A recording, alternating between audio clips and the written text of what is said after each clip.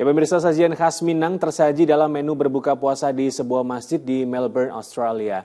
Menu ini pun mengobati kerinduan warga Indonesia akan cita rasa kuliner tanah air. Citizen jurnalis Asti Rastia punya liputannya untuk Anda.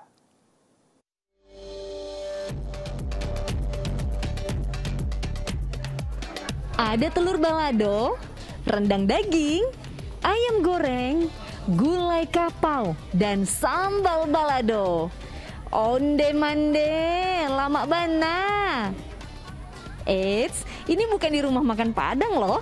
Semua hidangan ini adalah menu utama iftar atau buka puasa di Masjid Westall, sebuah masjid yang dikelola komunitas Muslim Indonesia di daerah Clayton South, Melbourne, Australia. Setiap hari Sabtu dan Minggu di bulan Ramadan, Masjid Westall mengadakan iftar untuk 250 hingga 300 jemaah.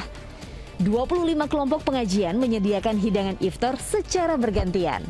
Ada juga yang menyumbang makanan secara individu.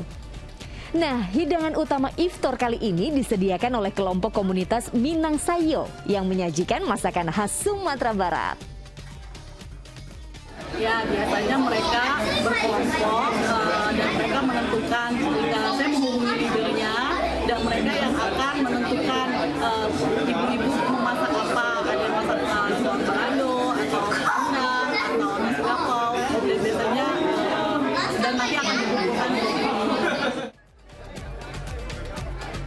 Menyantap makanan khas Minang ini tentu mengobati kerinduan warga Indonesia akan cita rasa kuliner tanah air. Hidangan di sini terutama kan hidangan Indonesia ya. Jadi itu kalau bagi kami ini yang student itu biasanya makanan Indonesia itu termasuk harta berharga. Karena memang dari lahirnya kita sudah uh, makan makanan Indonesia. Begitu di luar negeri yang kita cari pastinya makanan Indonesia juga.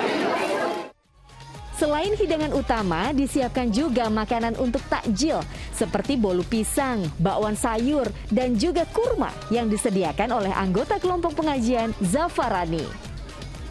Asti Rastia melaporkan dari Melbourne, Australia.